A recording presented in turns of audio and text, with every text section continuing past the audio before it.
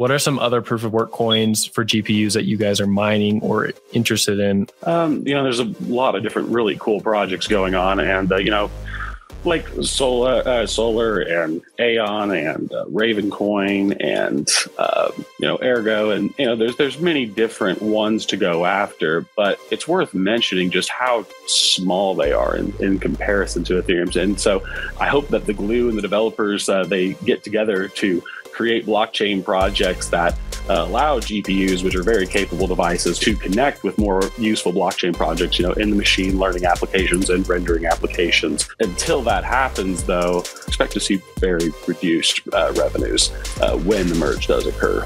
The three biggest coins by emissions for proof of work are Bitcoin, Ethereum, and Chia, and we have goals for them all. With Chia, especially, I mean, they've done pretty well. I mean, the World Bank just adopted them for their carbon system. Costa Rica just adopted it for its like environmental things, and it's only like one year in, so that's pretty good for one year in. They're, they look like ADA, but in the end, we pursue the coins that pay like that, that have significant activity. I mean, there's a bunch of other GPU coins like Ergo, Raven, Vero, but in the end, all these coins, let, let's say they're less than 1% of Ethereum emissions daily, so it's not really worth it. At least I think Chia got up to 20% of emissions, which was pretty good.